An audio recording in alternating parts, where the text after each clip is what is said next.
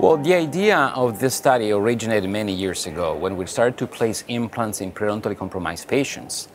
with no clue how uh, the results would be in the long term. So we monitored patients for many years and we realized that we can obtain optimal survival rate even in patients affected by periodontal disease if they are put in a stringent supportive periodontal therapy program. On the other hand, you have to understand that if you place an implant in a periodontally compromised patient, you are almost sure that sooner or later you are going to treat some kind of complication.